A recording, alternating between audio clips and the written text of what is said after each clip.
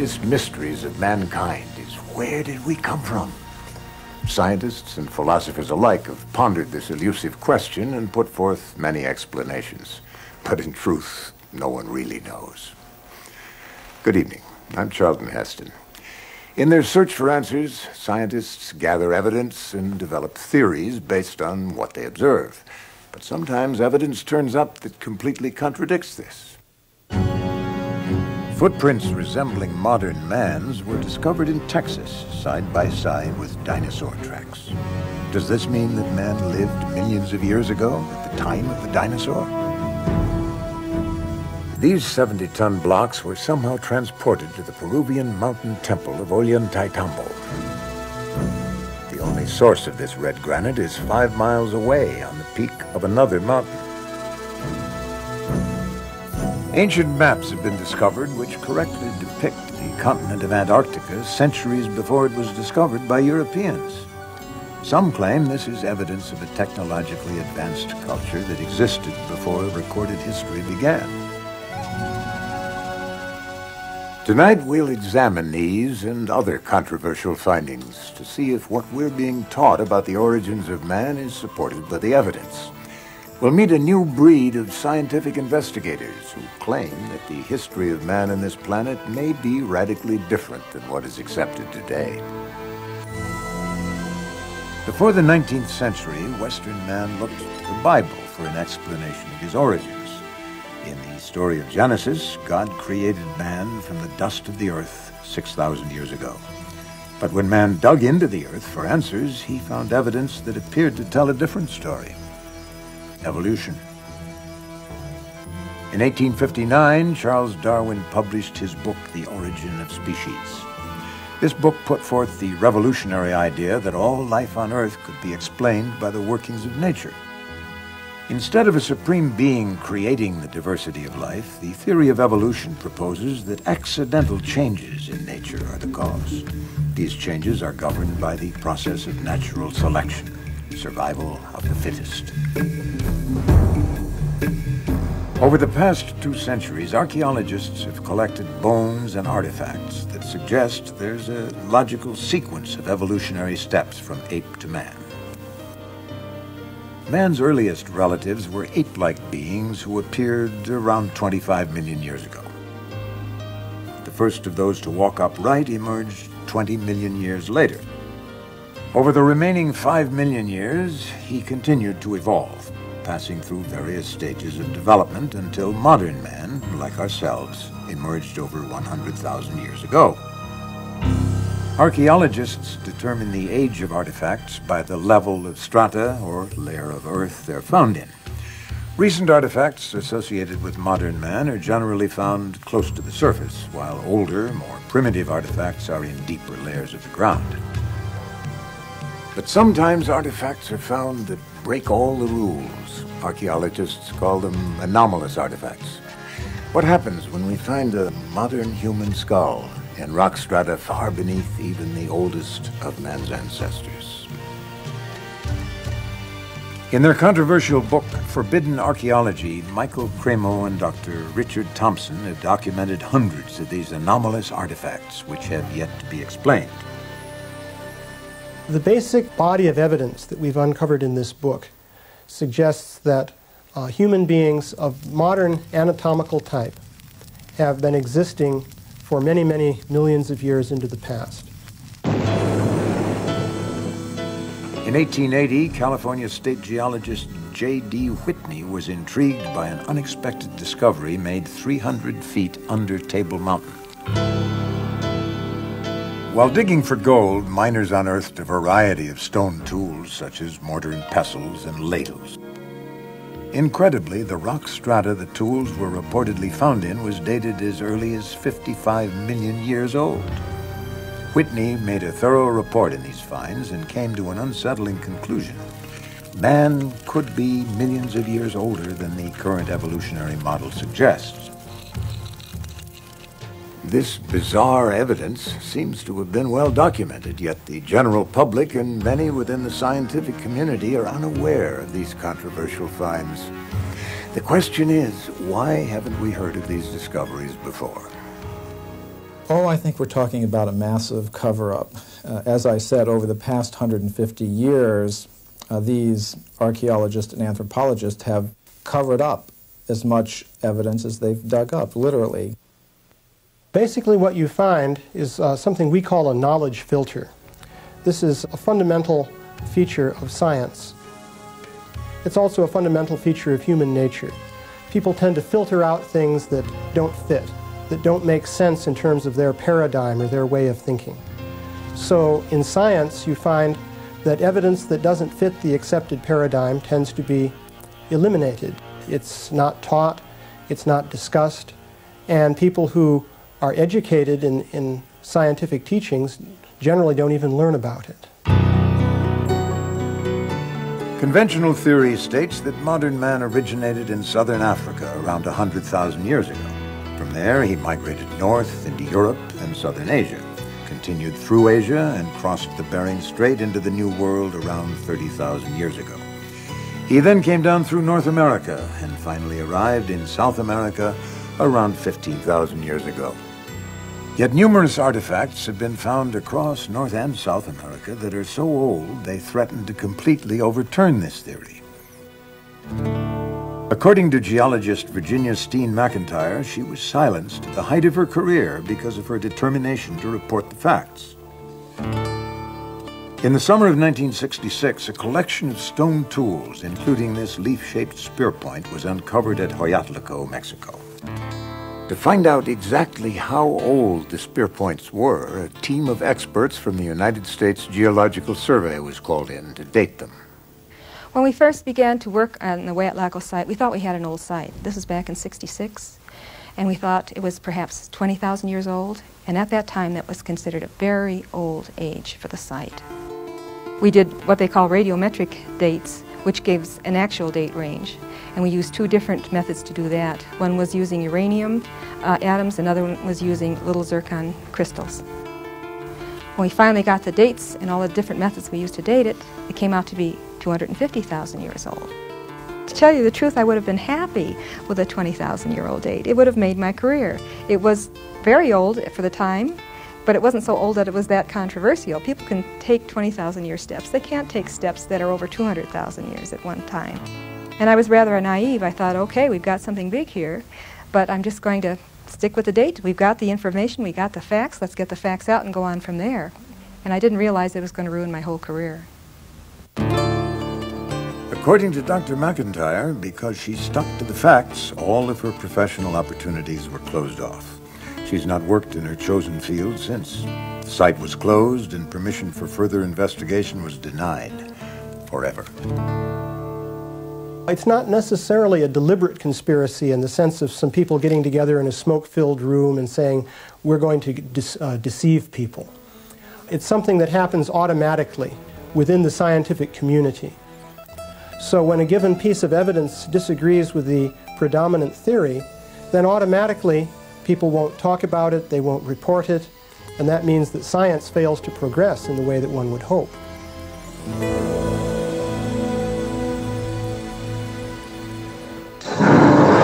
Dinosaurs left their tracks on this riverbank 100 million years ago.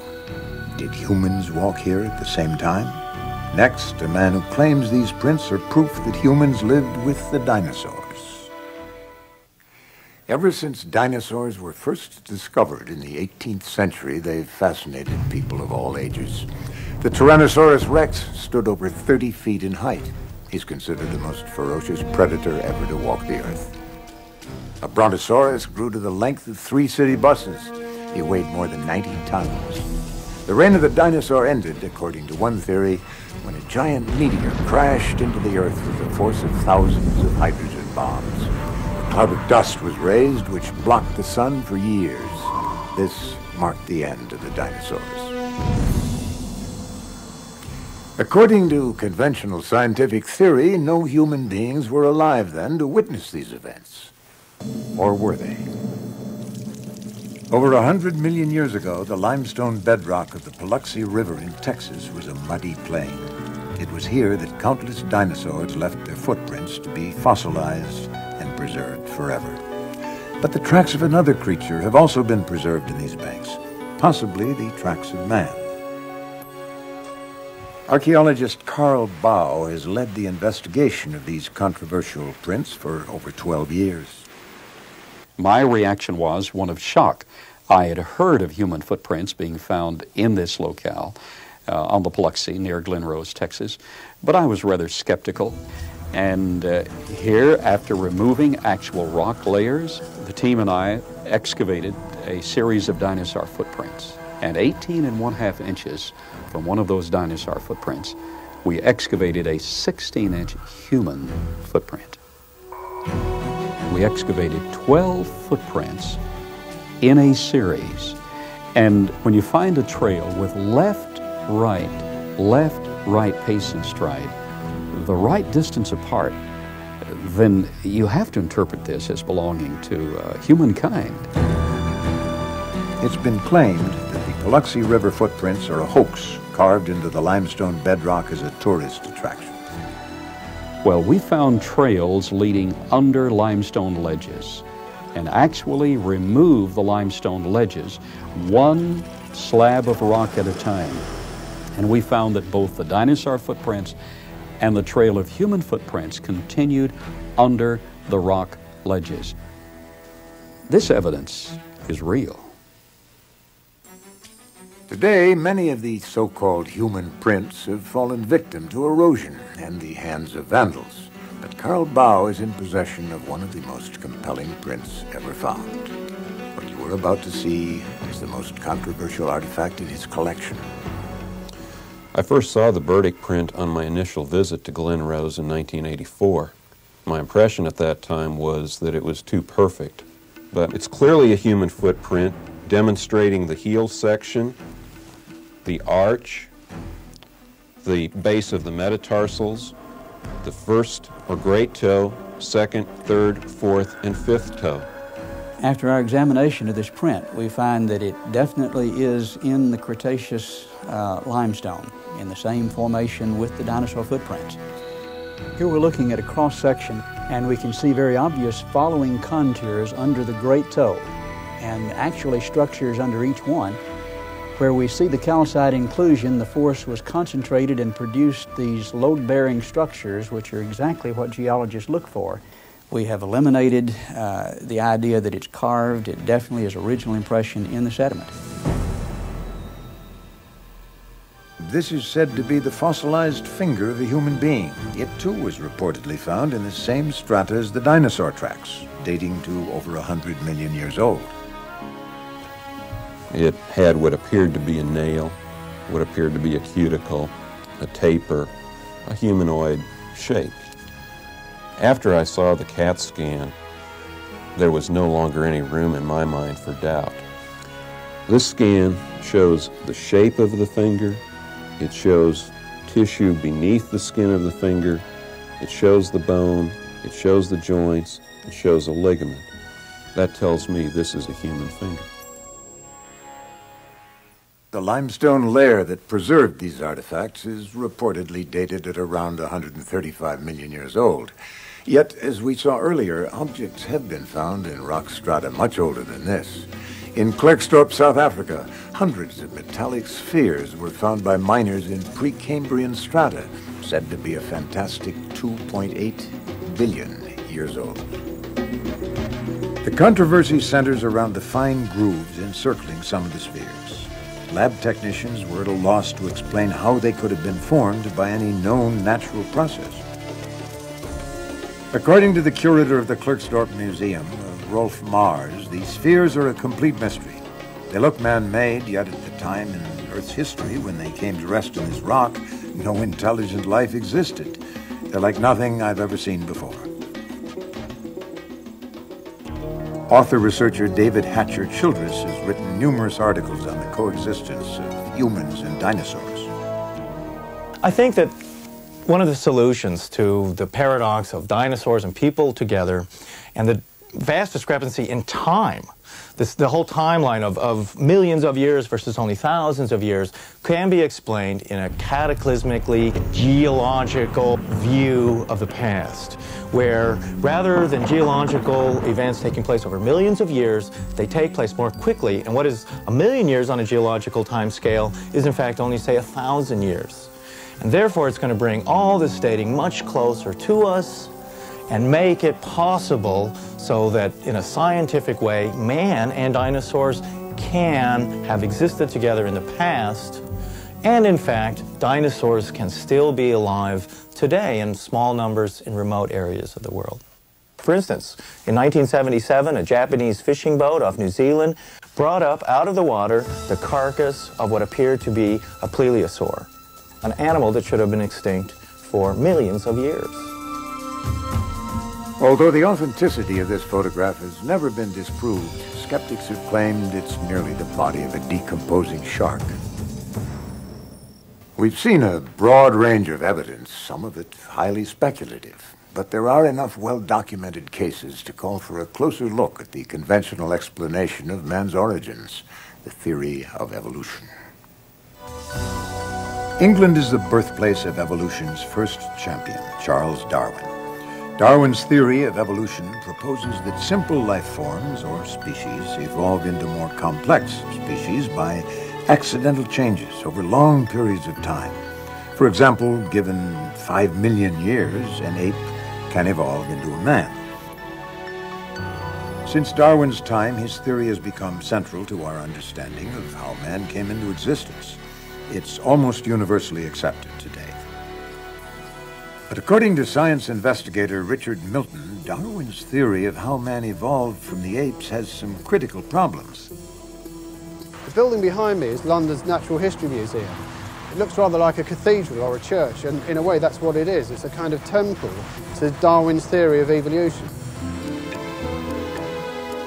People come to museums like the Natural History Museum to get answers to their question, have we evolved from apes? Do humans and apes share a common ancestor? And to look at an exhibit like this, you'd think that question had been answered decisively yes. But the answer is far from decisive. In fact, this representation is an interpretation of the fossils, the interpretation of one group of scientists. There are other interpretations, but you won't find them in this museum or any other museum in the world.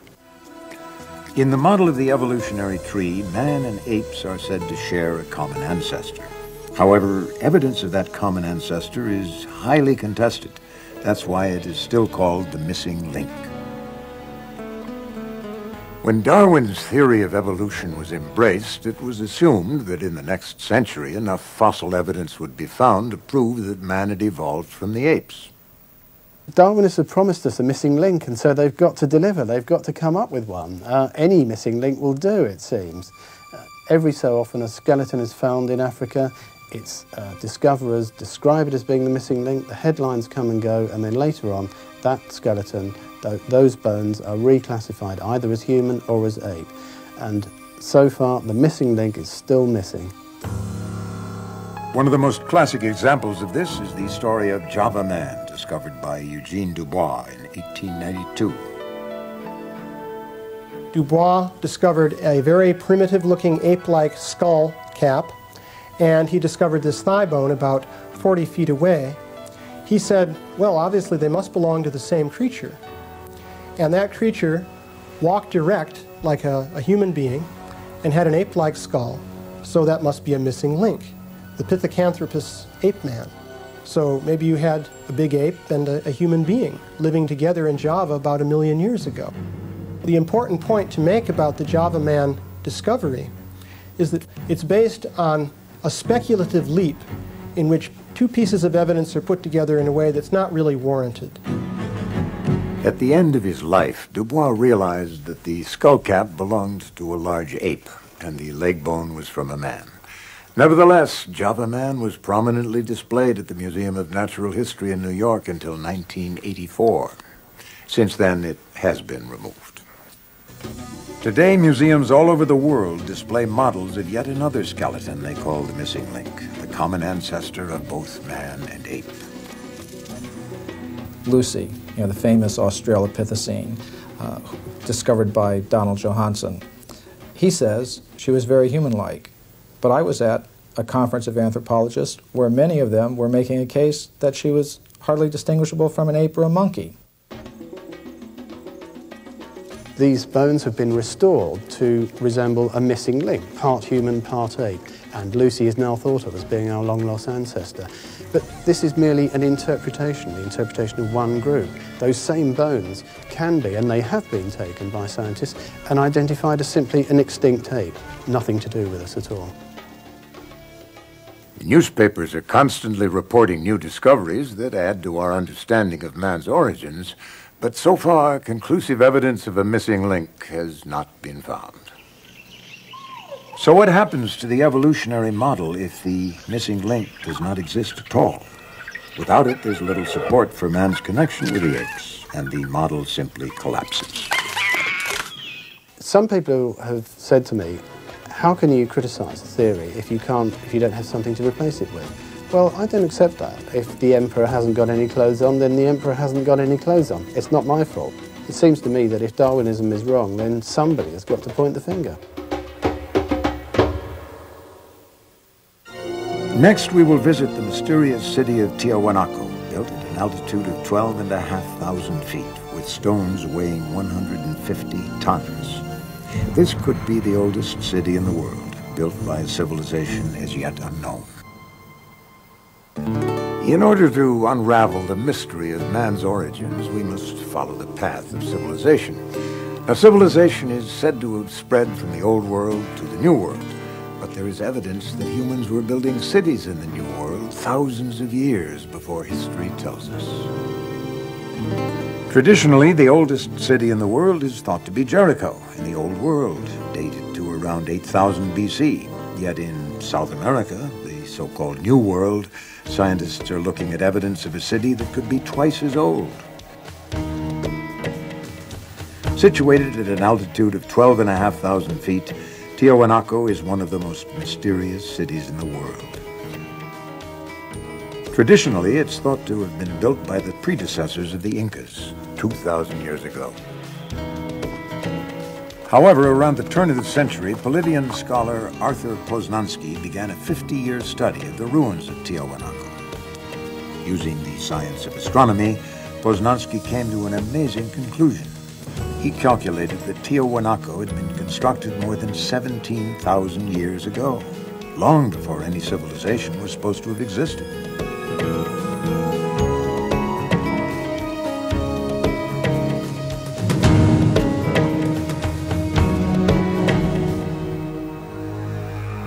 Poznansky called this fabulous city the cradle of civilization. Even though the accuracy of Poznansky's measurements were confirmed by engineers, his conclusions about the age of Tiahuanaco have never been accepted. Neil Steedy, a Mesoamerican archaeologist, decided to reopen this controversial investigation.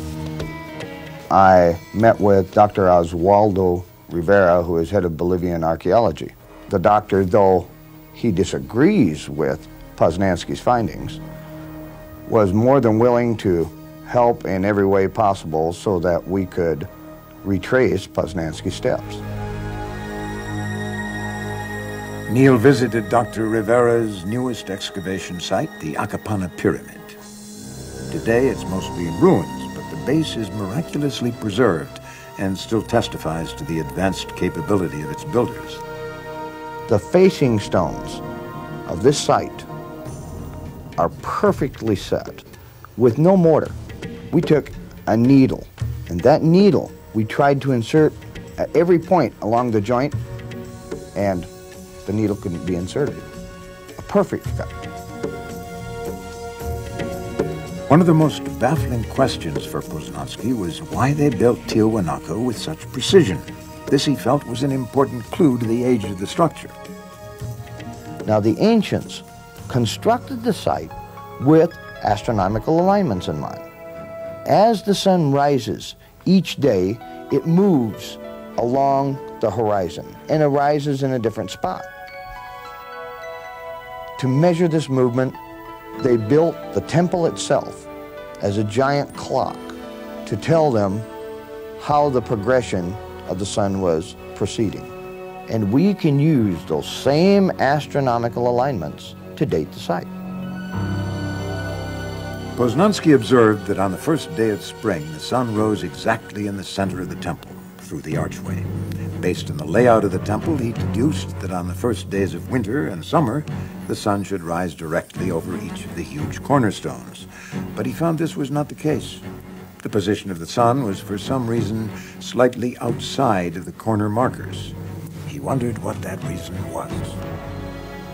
En Tiwanaku y en otras ciudades. In Tiahuanaco and in the other ancient sites surrounding it, the architecture is perfectly aligned to the cardinal points. The buildings are deliberately oriented to the cardinal points. But if we measure each building precisely, we will find errors. I believe these are simple errors of construction, not at all related to the date of construction. After observing the perfection with which this site is built, with 100 ton stones, to suggest that such things as the solstice markers are misaligned, I find incredible. No, I think the solstice markers were probably very precisely located, as everything else in the site. And in fact, this is the very argument that Poznansky used to calculate the antiquity of the site. By measuring the angle of the cornerstones and comparing that angle to today's sunrise position, Poznansky was able to calculate that Tiahuanaco was built 17,000 years ago. At that time, the tilt of the Earth's axis was slightly different than it is today. So the summer and winter suns would have risen directly above the ancient cornerstones. The only correction that I would make is that we now have better astronomical measurements due to satellites and computers. And I would suspect the date would be more like 12,000 years ago. But that still makes Tiwanaku the oldest city known on the face of the earth. In his Chronicles of Peru, written in the 1600s, Garcia de la Vega wrote that when the Spanish first arrived in South America, they asked the Incas who built this incredible city of Tiahuanaco. Did you build it? The Incas said, no. In fact, they laughed at the idea. They said, we had nothing to do with it. This was built thousands of years before our time. The current view says that man arrived in South America around 15,000 years ago, a wandering hunter gatherer. Yet the evidence we've seen suggests that Tiahuanaco was designed by an advanced civilization. A chance discovery reveals just how advanced they may have been. While restoring the ancient temple at Pumapunka, Dr. Rivera and his team discovered a long lost secret of the ancient builders. They found a strange depression between two blocks of stone. Upon clearing out the debris, they noticed the unmistakable glint of metal. Whoever built Tiwanaku came up with a very ingenious method for holding together the huge stones which they used to build the site. They carved a groove in the edge, and into this groove they would pour a molten alloy, which later hardened into a staple. What I find amazing here is that to move to each site where the staple was needed, they had to have something like a portable smelting plant to maintain this metal in a molten state. Mysterious metal clamps revealed a level of technology far beyond their time.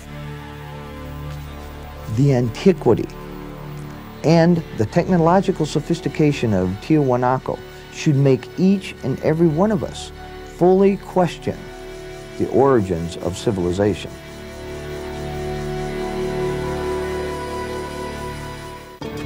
Where did the ancient Tiahuanacans learn this complex process?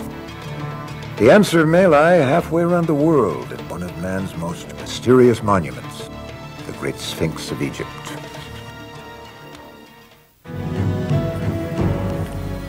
Is it possible that there was an advanced civilization on this planet thousands of years before history tells us? Investigative journalist Graham Hancock considers this to be a very real possibility. He has dedicated nine years of his life to tracking down the evidence. This monument is one of a category of monuments from all over the world. These monuments have certain things in common. First and foremost, enormous blocks of stone, gigantic, weighing hundreds of tons. Secondly, very precise scientific astronomical alignments. And thirdly, the greatest mystery of all, we don't know who built these monuments. Hancock points to a number of sites throughout the world which exhibit gigantic stone construction. This is called megalithic architecture. The immense fortress of Sacsayhuaman Peru is comprised of individual granite stones, some weighing 360 tons. That's the equivalent of two diesel locomotives. The Osireion in Egypt is made of tremendous pillars of red Aswan granite, some of which weigh over a hundred tons. My own view is that what we're looking at here is a common influence that touched all of these places long before recorded history began. A remote third party civilization, unidentified by historians, that had a presence in Mexico, that had a presence in South America, that had a presence in Egypt and elsewhere, and that left behind a legacy of knowledge in all of those places. In 1993, an independent Egyptologist, John Anthony West, shocked the world with geological evidence that the Sphinx in Egypt could be 12,000 years old. Recently, astronomer engineer Robert Bauval, using a computer model of the Giza Plateau, made a startling discovery which seems to confirm this ancient age of the Sphinx. In very simple terms, the first thing that one realizes when you look at the pyramids of Giza is that they're designed along astronomical principles.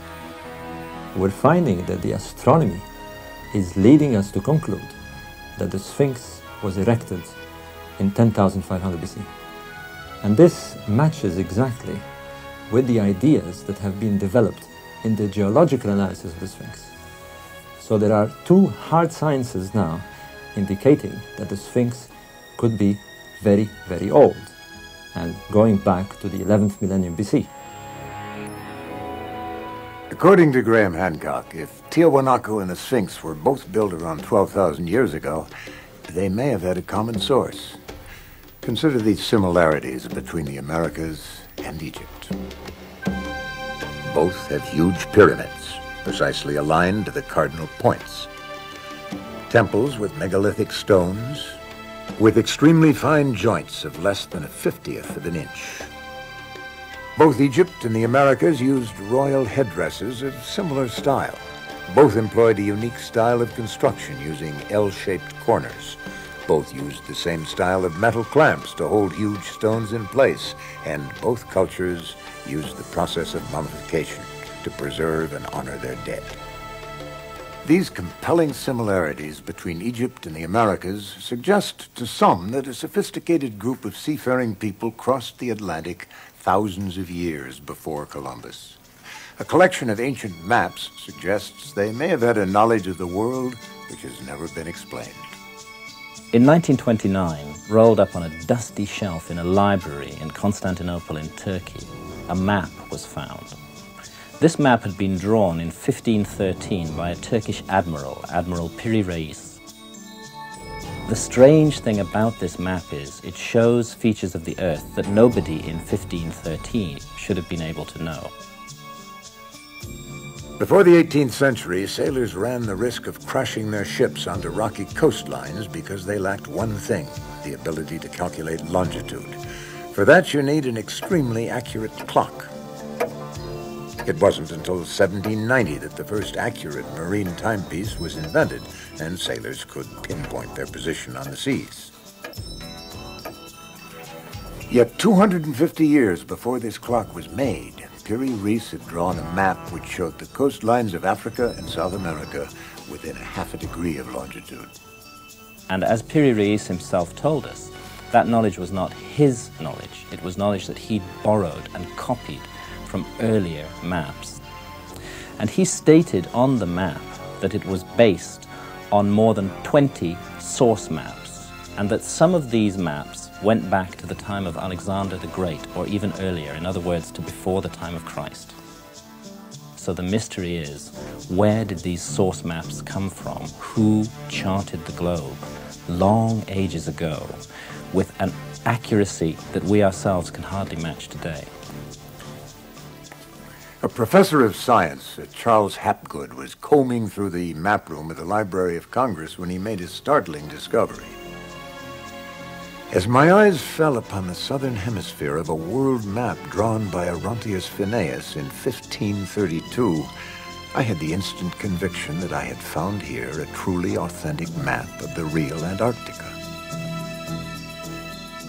The mystery of this map is it shows Antarctica as it looks under the ice long before Antarctica is even supposed to have been discovered. And perhaps the greatest mystery of all uh, is that it shows the Antarctic Peninsula not as it looks today, covered by more than a mile of ice, but as it actually looks underneath that covering of ice. Now, we ourselves have only known what the land under the Antarctic Peninsula really looks like since 1958, when seismic surveys were taken across the ice cap.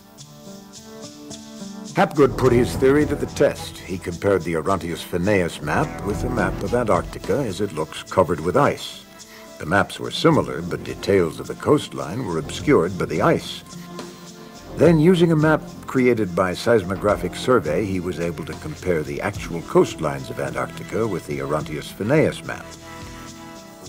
When the maps were overlaid, the similarities astounded him clearest deduction of all is that whoever drew up those original source maps thousands of years ago had a level of technology as high as our own. They had explored the whole globe from north to south and from east to west. So this is testimony of an advanced and as yet unidentified civilization in remote prehistory. A woolly mammoth was frozen so quickly that its last meal of buttercups remained fresh in its stomach for thousands of years. This sudden drop in temperature may be a clue to the disappearance of the unidentified civilization Plato called Atlantis. If a technologically advanced culture did live on the Earth thousands of years ago, what happened? The Greek philosopher Plato described an advanced civilization whose legend was preserved by Egyptian priests. As the story goes, Atlantis was a great empire of engineers and scientists who were in many ways more technologically advanced than we are today.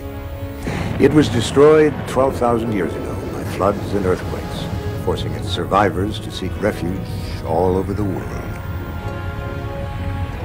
For centuries, scientists and explorers have searched in vain for a continent that fits Plato's description of Atlantis. So far, no sign of this vast island empire has been found. Some say it sank into the Atlantic Ocean. Others say it was destroyed by the volcanic eruption of Thera in the Mediterranean. But researcher Rand Flem-Ath believes he's found a location that no one else has ever considered. Atlantis, he says, buried under two miles of ice. Up until now, uh, the search for Atlantis has been restricted to two bodies of water, the Mediterranean Sea and the North Atlantic.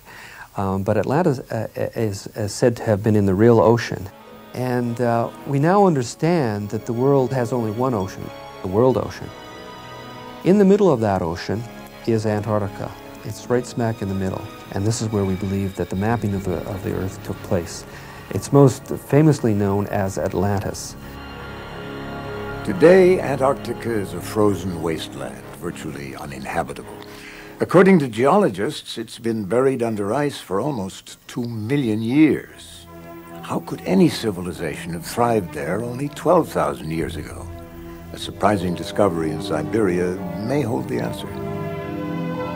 In 1977, a Russian bulldozer operator noticed a block of muddy ice containing a curious dark mass.